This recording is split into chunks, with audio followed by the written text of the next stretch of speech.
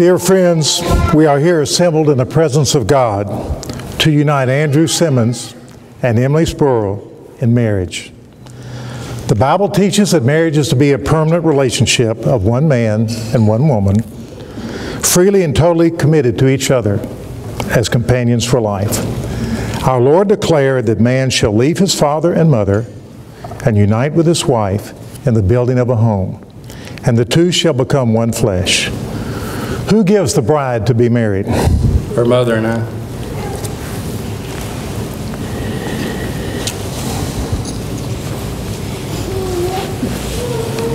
Please remain standing as we pray. Our Heavenly Father, what a joy it is to come together in your house on this very, very special day to witness the uniting of Andrew and Emilee. Father, how we thank you for their lives, how we thank you, Lord, for the divine way in which you brought them together, how we thank you for their love for each other and their love for you. Lord, we're so grateful for their families that have given their approval and their support and love to this union. Father, we're grateful for friends who are here to witness this happy occasion. And our prayer today is, Lord, that you will bless this couple richly in all that they do. And Lord, you'll bless each one here and bless this time that we are about, that it might honor and glorify the Lord Jesus Christ and all that we do and say. For it's in Jesus' name we pray and ask these things. Amen.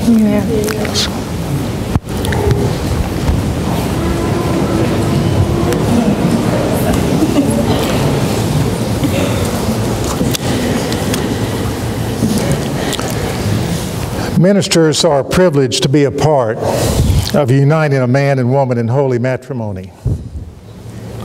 I was honored when Andrew and Emilee asked me if I would perform their wedding. I've known Andrew since he was a student at Ouachita Baptist University, where I teach. I knew then what I know now that he was a very special young man that God had his hand on and continues to have his hand on. Then I met Emilee, and I knew right away that Andrew was a very blessed man. I told Andrew what every married man here today knows, what my dad told me when he met my wife Susan before we married. When I asked him what he thought, he said, Son, you're going to outmarry yourself. And that's exactly what I told Andrew after I met Emilee. To know Emilee is to love her. She is truly as beautiful outwardly as she is inwardly. And she's a very blessed young lady to have Andrew as her husband. Last night, as we were at the rehearsal dinner, I looked around the room and just observed everyone interacting together with one another. Four generations in Emilee's family, three generations in Andrew's. Such a spirit of joy, such a spirit of love among everyone there. Just as it is today, as we gather together, family and friends, to witness this celebration and this joyous event. Andrew and Emilee, the house is built upon love, which is best portrayed in the 13th chapter of Paul's first letter to the Corinthians.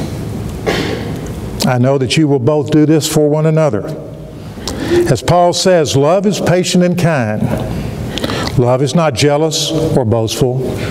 It is not arrogant or rude. Love does not insist on its own way. It is not irritable or resentful. It does not rejoice at wrong, but rejoices in the right. Love bears all things, believes all things, hopes all things, endures all things. Love never ends. So faith, hope, love abide. These three but the greatest of these is love. Marriage is a companionship which involves mutual commitment and responsibility. Andrew, you and Emilee will share alike in the responsibilities and the joys of life. When you share a sorrow, the sorrow is halved. And when you share a joy, the joy is doubled. You are urged to dedicate your home to your Creator Take His Word, the Bible, for your guide. Give loyal devotion to his church, thus uniting the mutual strength of these two most important institutions. Living your lives as his willing servants, and true happiness will be your temporal and eternal reward. Let us pray. Our Heavenly Father, we pray for Andrew and Emilee today as they are sharing their love for one another in this beautiful ceremony. Lord, that you will bestow your grace upon this marriage, that you will seal this commitment of your children with your love.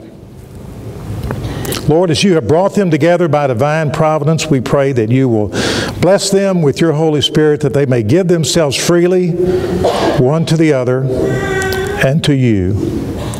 Give them strength and patience to live their lives in a manner that will mutually bless themselves and honor your holy name. Through Jesus Christ our Lord. Amen. Andrew, will you take Emilee to be your wife? Will you commit yourself to her happiness and her self fulfillment as a person and to her usefulness in God's kingdom?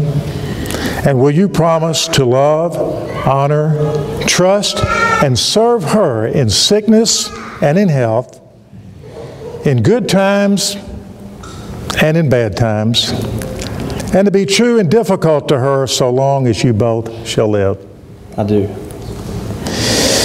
Emilee, will you take Andrew to be your husband?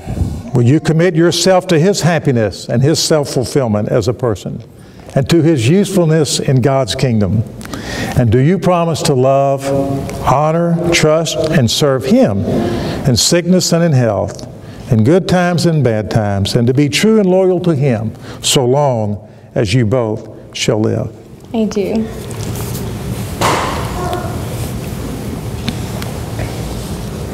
The wedding ring is a symbol of marriage in at least two ways.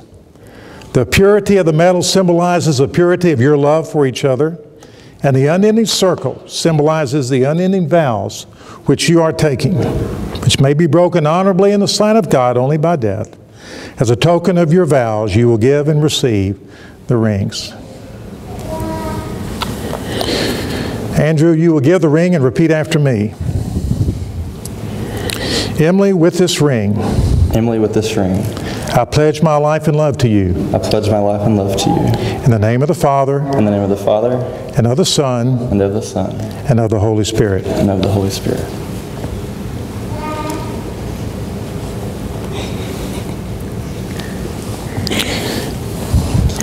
Emilee, you will give the ring and repeat after me. Andrew, with this ring, Andrew, with this ring, I pledge my life and love to you. I pledge my life and love to you. In the name of the Father, In the name of the Father, and of the Son, and of the Son, and of the Holy Spirit. and of the Holy Spirit. From the book of Ruth, we have a very beautiful passage that Emilee and Andrew are going to repeat after me. Entreat me not to leave you, Entreat me not to leave you, or to return from following you. or to return from following you. For where you go, I will go, For where you go, I will go. and where you lodge, I will lodge. Where you lodge, I will lodge. Your people shall be my people, Your people shall be my people, and your God, my God. and your God, my God.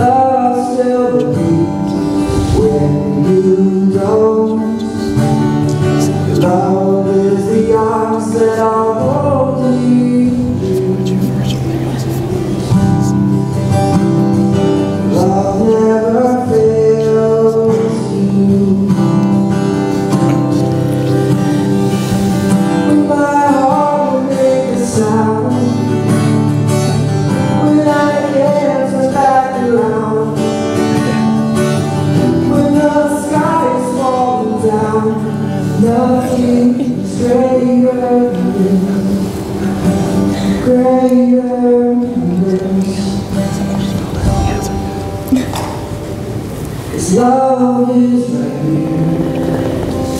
Love is alive. Love is the way, the truth, the light. Love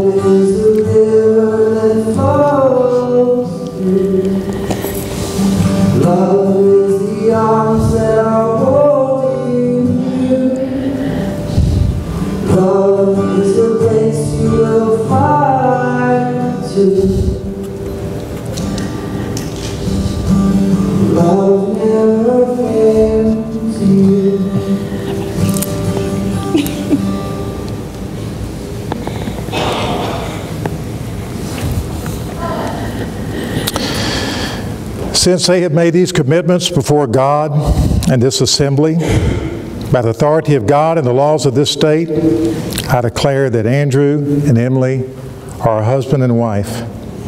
Andrew and Emilee, you are no longer two independent persons, but one. What God has joined together, let no one separate. You may kiss the bride.